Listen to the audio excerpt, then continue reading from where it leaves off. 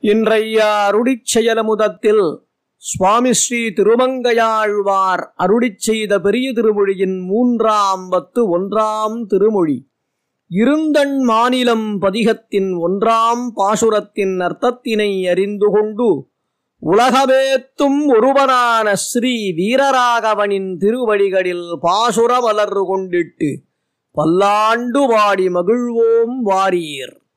பெரிய திருமொழியின் மூன்றாம் பத்து ஒன்றாம் திருமொழி இருந்தண் மாநிலம் பதிகத்தின் ஒன்றாம் பாசுரம்.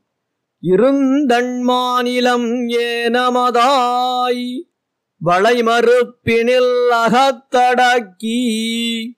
கருந்தண் மாகடல் கண் துயின்றவனிடம் கமலனன் மலர்த்தேரலருந்தீ இந்நிசை முரன்றெழும் அழிகுலம் பொதுடி அம்பொழிலூடே.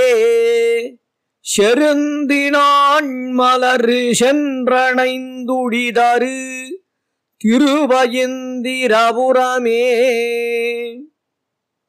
பாசுர விளக்கம் இப்பாசுரத்தின் கண் சுவாமி ஸ்ரீ திருமங்கையாழ்வார் மிகவும் குளிர்ச்சி நிறைந்த இப்பெரிய பூமியினை ஸ்ரீ வராகாவதாரம் எடுத்து தன்னுடைய வளைந்த கோரைப்பற்களிடையே அடக்கியவனும் கருத்திருக்கும் பெரியதான கடலில் அரிதுயில் கொண்டவனுமான எம்பெருமானுக்கு இருப்பிடம் எதுவெனில் அழகியதான சோலைகளினுள்ளே நற்சாமரை மலரில் நிறைந்த தேனினை அருந்தி இனிய குரலில் இராகங்களை பாடி கடித்து கூத்தாடுகின்ற வண்டுகளின் பெருங்கூட்டம் நெருங்கி சுரபுன்னை மரத்தினுடைய அப்போதலர்ந்த பூவிலே போய் சேர்ந்து நடையாடுகின்ற திருவயிந்திரபுரமாகும் என்று அருடிச் செய்கிறார்.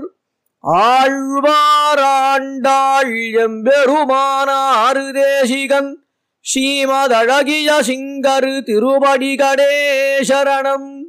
ஆழ்வார்க்கடிதான் பேரங்கூர் பா ஸ்ரீனிவாச ராகவன் திருஜவுள்